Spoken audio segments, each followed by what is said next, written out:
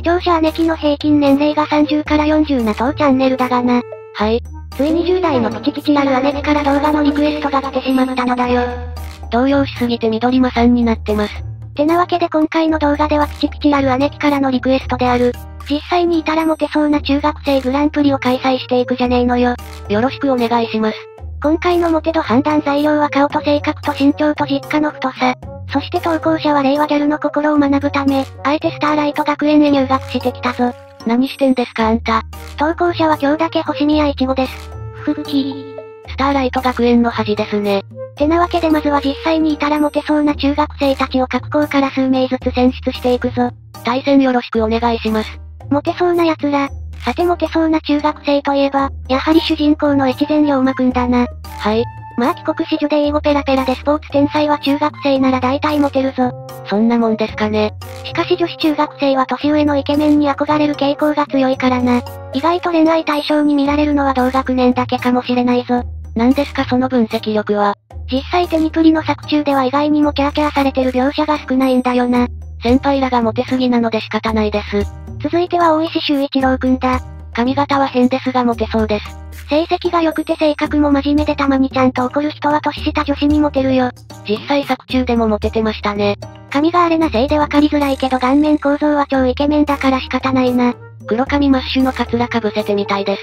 あと将来医者になる未来が確定したせいか、また少しモテ度が上がった気がするぞ。お医者様はお金持ってるからモテますよ。10年後の大石くんは結婚してそうですけどね。お次のモテオは藤修介くんだ。間違いなくモテますね。間違いなくモテるぞ。偶然カメラに映った藤君の姿をフォルダに保存してる女子がクラス26人くらいいるぞ。さもありげな話です。もはや白馬の王子様すぎて公式が映画で白馬用意してくるレベル。もはや馬娘ならぬ藤修介だ。どういうことだってばよ。ちなみにこの動画見てる35や姉貴の10割は初恋が藤修介くんだぞ。投稿者の小学校のクラスメイトも藤先輩好きって言ってたし間違いないぞ。懐かしい話です。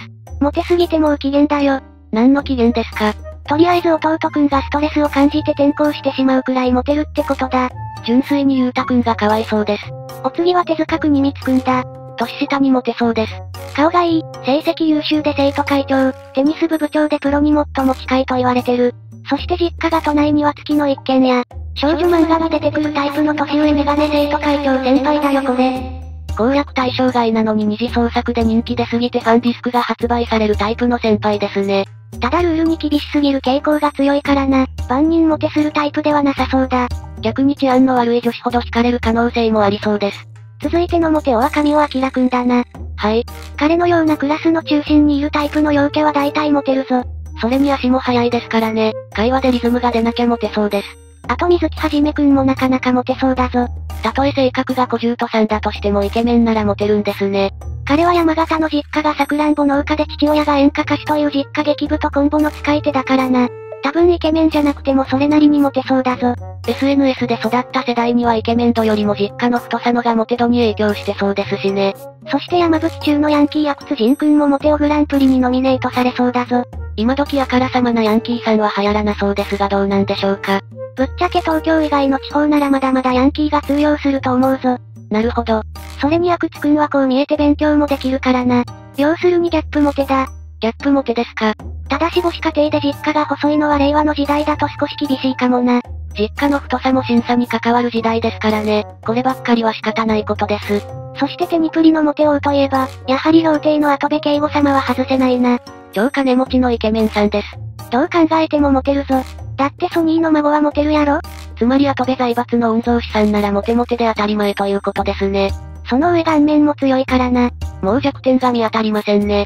周りの女性とも脳死でキャンキャン言ってるぞ。視聴者姉貴たちは姉キャンをはるか昔に超えてそうです。それに加えて成績は常に学園トップだし。はい。体力測定も常に学園トップ。存じ上げてます。その上隠れた努力家で経営センスも抜群。独立してもやっていけそうです。それに性格も金持ちなら許されるレベルだから間違いなくモテるぞ。確かにあの性格は後部様にしか許されません。続いては押したり勇士くんだ。小山田モテそうです。医者の息子はノータイムでモテるぞ。あと今時な韓国系丸メガネも余裕でオシャンティーだしモテるぞ。韓国系は令和のトレンドですからね。あと外部受験で編入してきたのもなかなかのモテ度稼ぎポイントだぞ。エスカレーター式の学校に外部受験させるのは親御さんが学力マウントを取るときに使う戦法です。それに関西弁の効果がいい方向に働くタイプのボイスをしてるからな。口開いてもモテるぞ。いとこのケンヤ君は口開いたらボロしか出ませんからね。ただ趣味が人間観察なのはきついな。ロリコン疑惑がバレたらクラスの色物枠に降格しそうです。あとは大鳥長太郎くんも令和のテニプリモテをグランプリに参入してきそうだな。高身長さんですからね。逆に身長高くてモテない奴はどこかが行かれてるよ。これは低身長のひがみです。あと大鳥くんは弁護士の息子だからな。家庭的に見ても間違いなくモテるぞ。身長も高いし性格も優しいので、間違いなくモテてそうです。ただ性格が良すぎる成果成人的な行いをする傾向が強いので、悪巧み系パパ活立ちんぼ女子のおもちゃにされることも少なくないかもだな。でも大鳥くんのパパ活はガチの法廷なので無敵です。あとは六角中の佐伯小次郎くんもリアルでいたら普通にモテそうだな。無駄に男前さんですからね、モテオグランプリの常連さんです。実家が太くて私立中に通ってれば間違いなく上位モテオになれるポテンシャルを秘めているぞ。その辺は公立民の弱い部分ですね。あとは比嘉中の海遊二郎くんと平子馬凛くんもモテそうな気がするな。確かに治安は悪いですが、ビジュアルは強いですからね。沖縄県民相手になら普通にモテそうじゃねえの。そしてモテオグランプリの大本命といえば？四天王寺の白石倉之介くんですか。その通りじゃねえの。めちゃくちゃイケメンさんですし、性格も優しいからモテそうです。そりゃねこのイケメン面でモテへんかったら全部嘘面よ。語尾が面丸さんになってます。カブトムシプラス左手一生大怪我プラスギャグがクソ寒いというマイナス要素を加えてもクソモテるぞ。マイナス要素がちょうどいいスパイスになってそうです。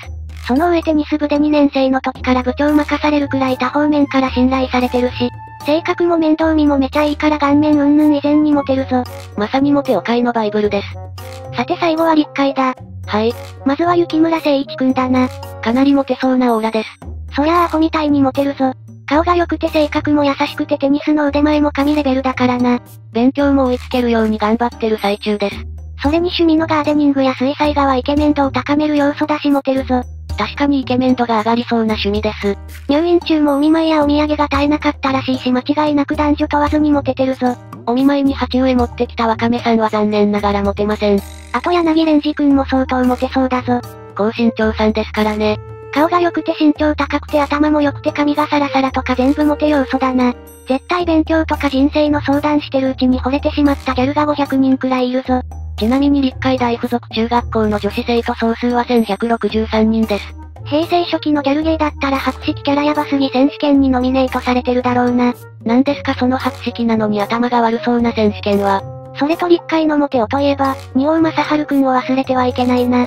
確かにイケメン面の不思議ちゃんは大体モテるのが世の中の摂理ですからね。ファンブックでも運命の木の下で告白されてたし間違いなくモテるぞ。立会でもそういうのあるんですね。なんなら遠距離から憧れの視線を送る女子生徒とかいるでしょ早く出てきなさい。一クラス20人はいそうです。あとに王くんの相方の柳生博士くんもモテオグランプリに入ってきそうだな。はい。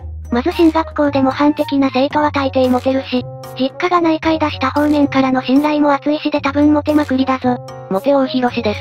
多分若いおかんとかはヤグーくんと同級生の娘さんを彼とくっつけるためにフルサポートしてるぞ。ヤグーくんが好きなギャルはおかんに大学まで並走してそのまま結婚しろとか言われてるぞ。母子ぐるみの大作戦ですね。